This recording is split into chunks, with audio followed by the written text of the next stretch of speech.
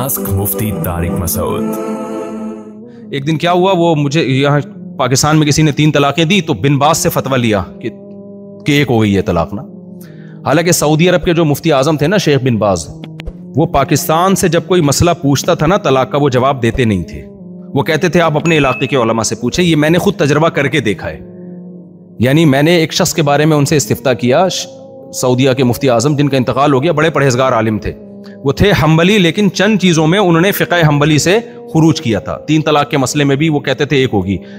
तो ये उनकी राय थी जो कि गलत थी। मैंने उनसे देखने के लिए ना उनसे पाकिस्तान से उनको ख़त भेजा। अरबी में मैंने लिखा कि इस तरह एक, एक शख्स ने तीन तलाक़ें दी हैं। उनका जवाब आया उफ़ीदुकुम भी नज़र फ़ीदालिकुम राजिला फ़ीलती मुफ्ती वफ़ी मायराह फ़ीलत किफ़ायत इन कि भाई आप अपने इलाके के ओलमा से पूछें जो जवाब दें उसको फॉलो करें। ये उनकी राय में अतदाल था। तो वो परहेजगार आलिम थे। अब वो चारों तलाक के मसले में थे तो वो फ़िका हम्बली ही के फॉलो करने वाले। लेकिन चंद मसाइल में वो उन्होंने फ़िका हम्बली को छोड़ दिया, जिनमें एक तलाक का मसला भी था। लेकिन उससे नुकसान ये हुआ कि अब तलाक के बारे में ना उम्मत में तोड़ पैदा हो गया। वो आलिम थे, मकसद उनका कुरान और सुन्नति को फॉलो करना था। जो उनकी समझ में आए, उन्होंने फॉलो किया।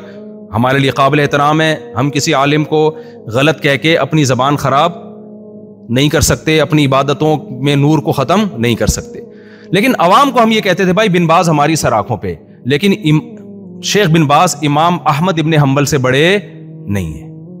इमाम बुखारी के उस्ताद हैं इमाम अहमद इन हम्बल मैंने कहा इमाम अहमद हम्बल का क्या फतवा है? तो एक साहब ने उन्होंने क्या किया? धोखा दिया होगा अपने आप को सऊदी शो किया होगा वहाँ से फतवा ले लिया कि तीन तलाकें एक होती हैं। बार बार मुझे कह रहे बिन बास का फतवा बिन बास का फतवा इतने बड़े आलिम मैंने कहा, यार, इमाम अहमद बिन हम्बल का फतवा तो ये कि तीन होती हैं तो कह रहे नहीं, मैं तो बिन बास तो कुरान हदीस से पेश किया। मैंने कहा, इमाम अहमद ने भी तौरात और इंजील से दलाइल नहीं दिए उनकी किताबें पढ़ो, मैं आपको दलाइल देता हूँ। फिर मैं उनको दलाइल भी लेकिन नहीं। कह रहे, नहीं जी, मैं सऊदिया के मुफ्ती आज़म को मानूँगा। मैंने कहा अच्छा फिर अपनी बात पे कायम रहना। शेख बिन बाज का फतवा है कि जिसने एक नमाज़ जान बूझ कर छोड़ दी, वो इस्लाम से खारिज है। मैंने कहा तुम्हारे लिए इस फतवे के बाद भी बीवी के पास रहना जायज़ नहीं है, क्योंकि तुम बीसियों नमाजों छोड़ते हो, मुर्तद हो चुके हो, मुर्तद का निकाह क्या होता है? टूटता है कि नहीं टूटता? बिन बाज से पूछोगे, वो तो कहते हैं, टूट गया निकाह। कह रहे, नहीं, ये ये नहीं है। मैंने ये क्या ड्रामेबाजी है कि नहीं है? तो आप क्या चाहते हो, उम्मत में ये तोड़ पैदा हो?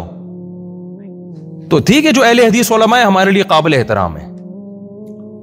हम किसी को गलत नहीं कहते इस सेंस में सबको अहले सुन्नत बल जमात में समझते अवाम के लिए रास्ता भाई क्या है?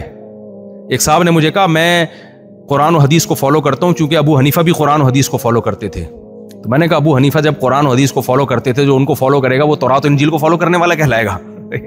उनको पूरा कुरान हदीस आता था ना तो उसको फॉलो कर लिया उन्होंने। तो इसलिए ये जो ये जो इतिहाद की जो जिस तरह की आजकल कोशिशें हो रही हैं, ये खुलासा ये निकला कि ये ये इन तिलों में तेल नहीं है, अब सिर्फ़ लेबल क्या है? बहुत अच्छे लेबल हैं, बाकी आगे आगे आ गया इसमें।